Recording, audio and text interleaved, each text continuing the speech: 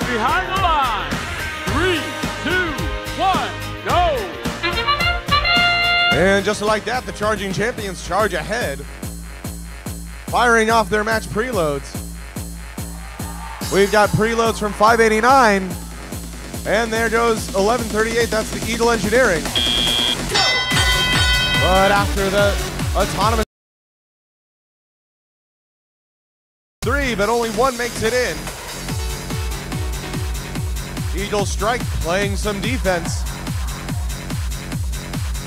Meanwhile, MVRT continues to dominate by hitting that top power port.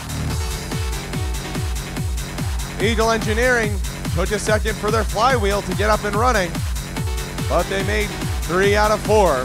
Falkon Robotics follows quickly with an extra power cell into the top power port. Kauaibots picking up some power cells from the Red Alliance sector, tossing it over into the Blue Alliance zone for their teammates.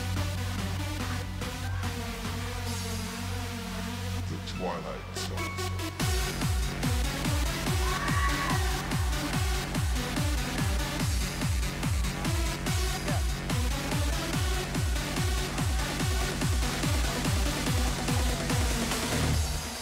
MVRT landing even more shots into that upper power port.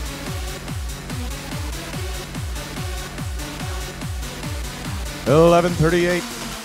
Eagle Engineering moving across the field. They're going to try and score those into the top power port for the Blue Alliance. But that sound means that it's time to activate the shield. Ko- Kauaibot trying to play some defense.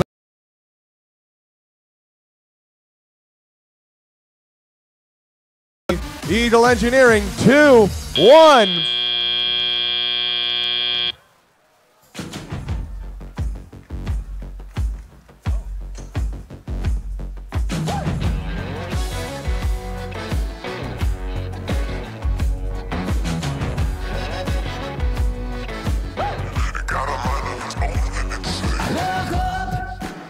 And with that, that's quarterfinal match number three.